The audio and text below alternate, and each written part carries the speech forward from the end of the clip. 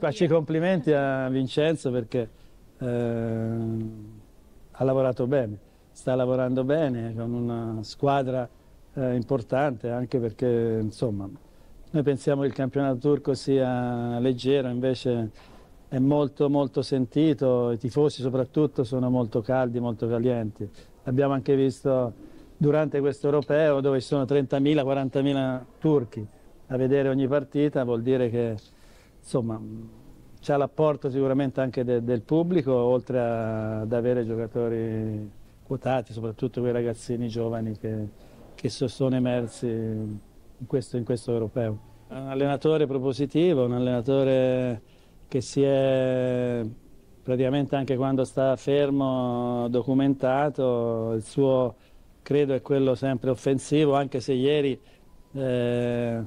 l'ho visto abbastanza in difesa, però eh, penso che il calcio di oggi non si può sempre pensare a, ad essere propositivi, bisogna anche pensare alla fase difensiva